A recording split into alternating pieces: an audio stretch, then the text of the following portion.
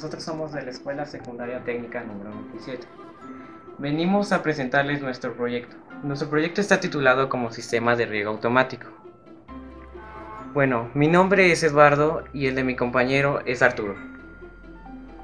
Nuestro proyecto surge, como, surge por la problemática que tenemos en nuestro pueblo, que es que nosotros plantamos eh, en un área verde determinadas plantas, pero año tras año el mal cuidado de estas ha provocado que se sequen nuestros cultivos. Para entender mejor nuestro proyecto, nosotros le explicaremos lo, siguiente. ¿Qué es un invernadero? Bueno, un invernadero es un entorno cerrado en el cual se generan las, eh, bueno, se generan las condiciones necesarias para que una planta sobreviva. Estas condiciones son la luz, la humedad, el agua y la temperatura. ¿Cómo funciona un invernadero? Un invernadero funciona de la siguiente manera. Al ser de un material translúcido, ya sea vidrio o plástico, deja pasar los rayos del sol y hace que caliente todo lo que está dentro del ambiente del invernadero.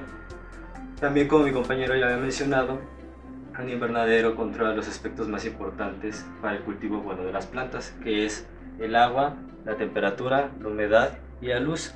En la parte de la luz nosotros no controlaríamos nada ya que es proporcionada por los rayos del sol. Nuestras problemáticas son las siguientes. En la parte de la humedad, en un invernadero, bueno, en un invernadero las plantas tienden a transpirar cierta cantidad. ¿Esto por qué?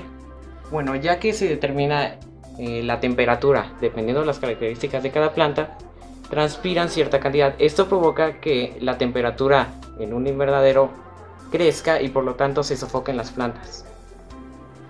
Eh, como ya he mencionado mi compañero, la temperatura aumenta gracias a que transpiran las plantas. Esta es una gran problemática ya que se pueden llegar a, sofocar. Otra problemática que tenemos en la parte de temperatura es que tienden a bajar mucho las temperaturas en, en tiempos de invierno. Entonces nosotros tendríamos que controlar esa parte para aumentar su temperatura. Otra problemática que tenemos es la parte del agua. En la parte del agua, en un invernadero, bueno, las personas que cuidan un invernadero grande tienen que controlar el porcentaje de agua que le echen a una planta. Hay veces que nosotros nos excedemos o, o bueno, o nos hace falta colocarle agua. Por lo tanto, aquí nosotros tenemos una planta. Hay veces que nosotros echamos agua, pero esta es en exceso. O unas veces en que la tierra, bueno, el agua se queda en la parte de arriba de la tierra y por lo tanto no baja hasta la raíz. Otra problemática es que este, hay veces que nosotros no tenemos tiempo o por cualquier, eh, cualquier motivo, nosotros no podemos regar la planta. ¿Cuáles son nuestras soluciones para estos problemas? En la parte del riego, bueno, en la parte de riego, en nuestro proyecto, para solucionar estos problemas que acabamos de mencionar, utilizamos un circuito. ¿Qué hace este circuito? Este circuito lo que hace es que nos detecta la humedad en las plantas.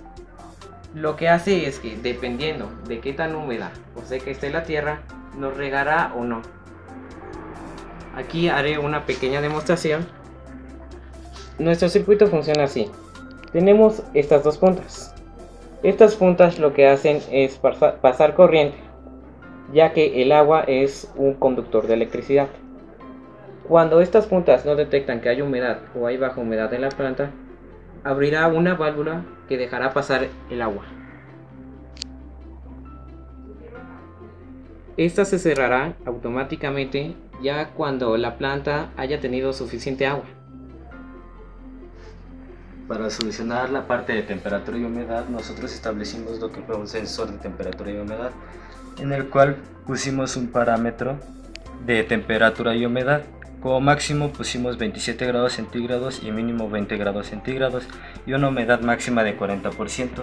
Si llegara a exceder esta temperatura, nosotros haríamos abrir una ventila eh, una ventila la cual dejaría eh, pasar todo el exceso de temperatura o humedad. Estas están representadas por tres LEDs aquí. Dos de ellos representan lo que es una ventila y uno de ellos representa un termostato para cuando la temperatura baje demasiado, este calentaría lo que es el ambiente del invernadero. Bueno, nuestro proyecto tiene diversas ventajas. Una de esas ventajas es de que se ahorra el agua. ¿Por qué se ahorra el agua? Ya que nuestro, bueno, nuestro sistema funciona solo para que la planta reciba el agua necesaria, no se gastaría tanta agua ni se excedería o, o haría falta, le haría falta agua a la planta. También otra ventaja que nosotros tenemos es que ahorra mucha electricidad ya que solo utiliza 12 volts para su alimentación. Como última ventaja que tenemos es que, bueno, ya que esto nosotros lo hicimos en la secundaria, no es tan caro. Nuestro valor, nuestro precio del proyecto total varía entre los 700 y 1000 pesos. Eso no es mucho. Bueno, nuestros objetivos principales para este proyecto es implementar una cultura que, um, que ¿cómo se llama? Bueno, implementar una cultura de azoteas verdes. ¿Esto para qué? Ya que en un futuro la población aumenta y las, bueno, las áreas de cultivo se disminuyen, este proyecto como un invernadero automático funcionaría muy bien en nuestros hogares. ¿Y esto para qué? Para darles un mejor ambiente a esas azoteas verdes y para que estén en un buen cultivo las plantas de ya sea de ornato o de hortaliza. Bueno, para este proyecto nosotros, bueno, nosotros tuvimos que hacer varias cosas. Funciona con varios componentes. Nosotros realizamos una programación. Se preguntarán, ¿esta programación en dónde la aprendimos? nosotros impartimos un club de robótica. Este club de robótica nosotros lo tenemos, bueno, ya desde bastante tiempo. En él aprendemos varias cosas. Programar, hacer robots. Varios robots son, unos ejemplos de robots son los seguidores de línea, sumos, seguidor de luz oscura, entre otros varios. Este, este club de robótica es impartido por nuestro profesor de nuestro taller, que es el profesor de electrónica. Su nombre es Carlos Noé Mendoza Castro.